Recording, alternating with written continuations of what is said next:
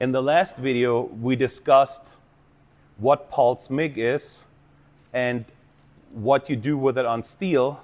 Now let's talk about aluminum. Aluminum is always supposed to be a spray arc application. There really is no short circuit in aluminum MIG. Aluminum MIG is always push the weld.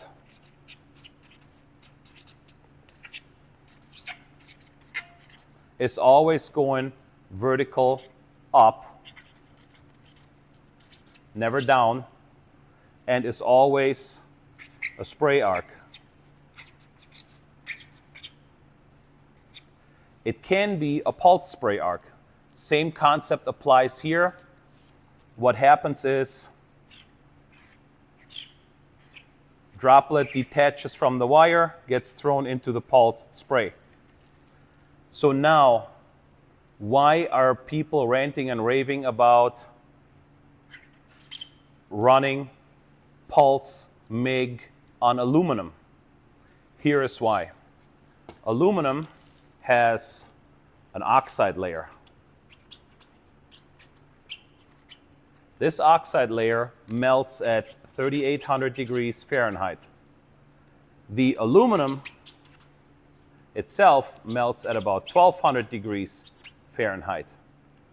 Now, you have to look at it like this. I'm going to draw a magnified piece of aluminum here, pretending this is our piece of aluminum. And even though this is about an inch and a half here, let's pretend that this is about one eighth of an inch thick. So on top of this aluminum, you have your oxide layer.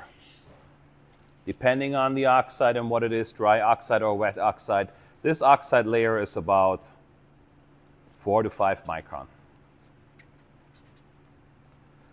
So what happens now is when you do spray arc,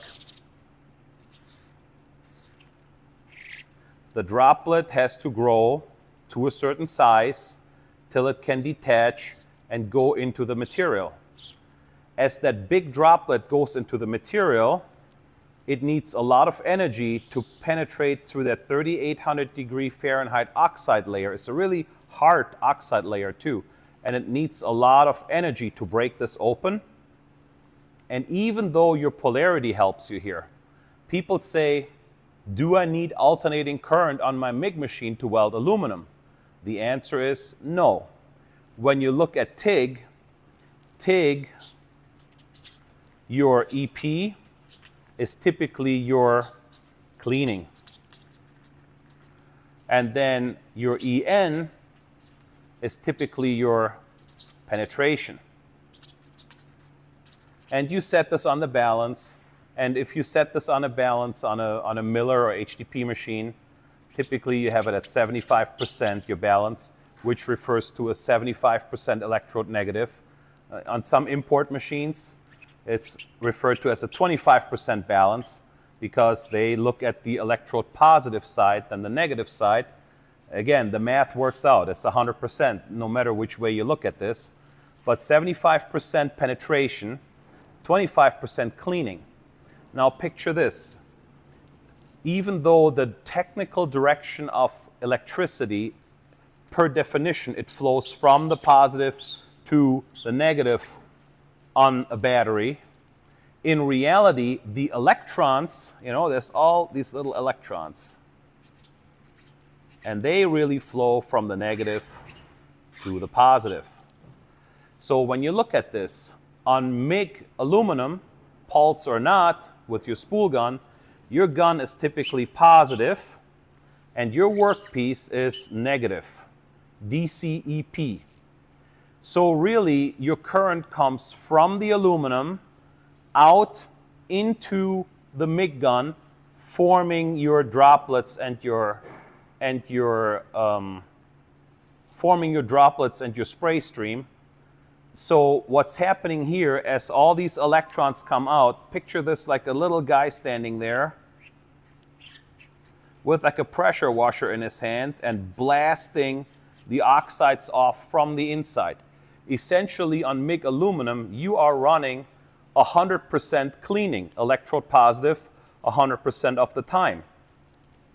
Now, the problem is that still heats up the material, and as the droplet comes down into the material, it still needs to break through that oxide layer for then the electrode positive, like the electrons from the inside blasting this off, to do, to, to blow the oxide layer away.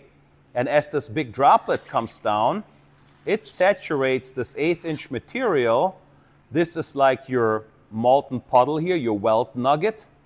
It saturates that eighth inch piece basically all the way just to get rid of your oxides. Now, when you picture this a little bit more dramatic, where now you have material that is 1 16th of an inch, okay? And here's your oxide layer. Here comes your electrode positive MIG. The, the stream comes down. It forms the nugget. Next thing you know is you have a hole in your material. So this is where your pulse shines. Remember, the droplet is very hot but very small. So what happens is the droplet that is formed is a lot smaller. It's still very hot, but it's a tiny droplet, and it goes into this pulsed, into this interrupted stream of tiny little droplets. And as it hits the surface, it loses most of its heat and energy to break open that oxide layer, and then your penetration into the base material is a lot less. So you gain control. You can weld along the edge of a material where previously you were just melting it off. You can bridge gaps. You can weld on thinner material. For aluminum, where you don't have the option of short circuit, it is about the perfect solution. Now, there's always a guy out there that says, yeah, but with my spool gun and I can weld short circuit on aluminum. Well, that's all fine and dandy. If you weld short circuit on aluminum, the problem is the wire short circuits, burns back a little bit, then your welding arc establishes here. There, a little lightning bolt.